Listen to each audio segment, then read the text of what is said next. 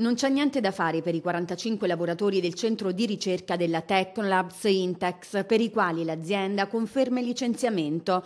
Un tavolo di trattative, quello convocato in provincia, abbandonato anche dalle parti sociali, che lanciano un nuovo appello alle istituzioni locali. L'azienda non intende ricorrere all'utilizzo degli ammortizzatori sociali con i contratti di solidarietà, come invece proposto anche durante l'incontro a Roma presso il Ministero del Lavoro. Una possibilità, quella dei contratti di solidarietà, che avrebbe permesso almeno per due anni di continuare a lavorare e solo successivamente procedere alla mobilità e conseguentemente ai licenziamenti. Un paracadute sociale previsto dalla normativa, bocciato tuttavia dai vertici Intex Tecnolabs, intenzionati a licenziare su due piedi i 45 ricercatori del centro di ricerca e innovazione più grande del centro Italia, che impiega in tutto 143 persone. La procedura di mobilità, stando ai fatti inequivocabili, si intende avviata dal 1 febbraio l'azienda infatti infatti comincerà a comunicare ai dipendenti in esubero la messa in mobilità, una messa in mobilità a cui seguirà il licenziamento. Purtroppo non ci sono assolutamente buone notizie. Dopo l'incontro di ieri dove l'azienda, la Intex, si è presentata solo per dire no,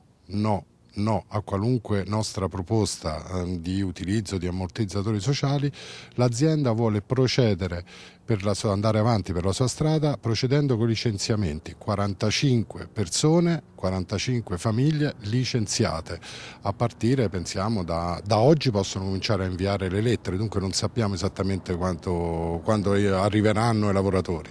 L'unica apertura che ha fatto l'azienda è che poteva ridurre i numeri da 45 a un numero non precisato, dunque non si sa, può essere 44, comunque non è il numero, qui non deve uscire nessuno. L'azienda è venuta un anno e mezzo fa qui in azienda, qui all'Aquila, ha rivelato la Tecnolabs dal gruppo Compel facendo grosse promesse di investimenti, cosa che non ha assolutamente fatto, ha attinto a ammortizzatori sociali ed ora procede ai licenziamenti. La Intex SPA rilevò il sito aquilano della Tecnolabs solo un anno fa, subentrando al gruppo Compel per rilanciare il centro specializzato in elettronica e telecomunicazioni già in crisi. Dopo diversi mesi, per 50 lavoratori, scattò la cassa integrazione, per altri 20 dipendenti invece la mobilità volontaria. Il timore delle parti sociali e soprattutto dei lavoratori è che tra le intenzioni dell'azienda ci sia quella di smantellare il sito aquilano, un tracollo occupazionale nazionale per la città dell'Aquila, già messa a dura prova da una crisi economica senza precedenti,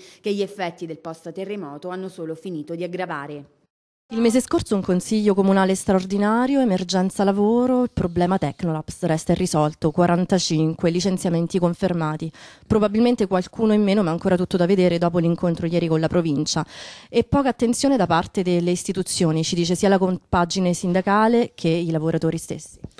Ma eh, o meno attenzione, io abbiamo svolto un incontro, adesso vediamo, c'è una trattativa aperta con la proprietà, eh, ripeto quello che ho detto in Consiglio Comunale, c'è il tentativo di salvare questi licenziamenti, ridurne il numero e dare le prospettive. È chiaro che qui va fatto un disegno industriale complessivo e stiamo mettendo intorno a un tavolo le aziende omogenee ci possono stare.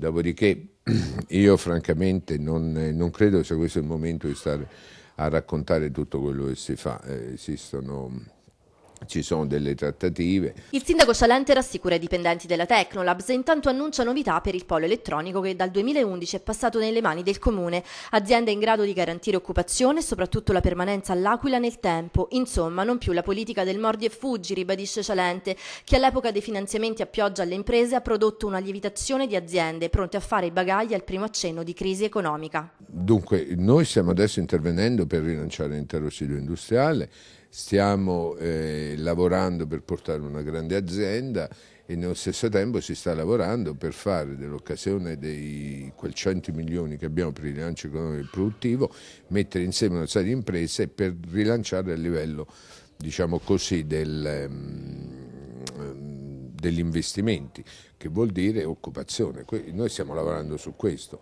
Eh, se, devo dire, allora recentemente abbiamo avuto una cena, adesso dobbiamo fare un'altra cena di lavoro e così via. Non mi metto a dire queste cose.